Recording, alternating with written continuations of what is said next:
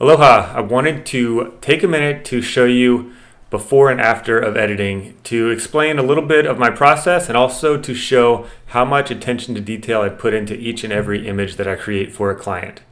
This is the final image of this beautiful high rise in Honolulu. This is where the image started. So let's back up a little bit and show how we got there. All right, the original image is here. Um, and then we have a layer of distraction removal.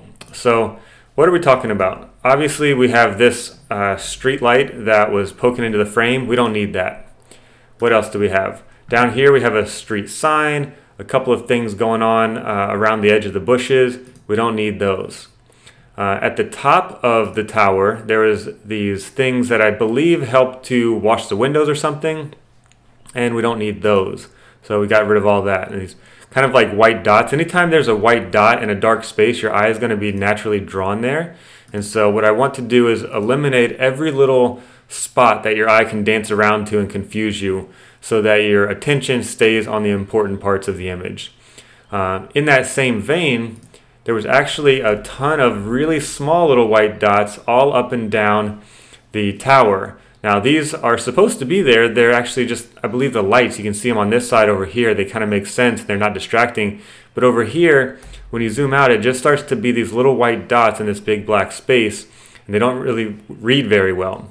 So I actually went in one by one, up and down each floor of the tower and got rid of all of those things. You can see also some people had plants on the balcony um, and I erase those just to clean things up again so that your eye stays focused on what's important in the image. So there's again before and after distraction removal. Uh, and then we put in a sky to kind of match the mood of the building. This was taken at golden hour. You can see the nice golden light on the trees, um, but the sun, the sky was still kind of nice and blue behind there. So if we add in a different sky, it just gives it a totally different mood and feel. Uh, and then last but not least, because we have a bright area down here, your eye might be drawn down to the trees. So we just darken those up a little bit to draw your eye back up to the building.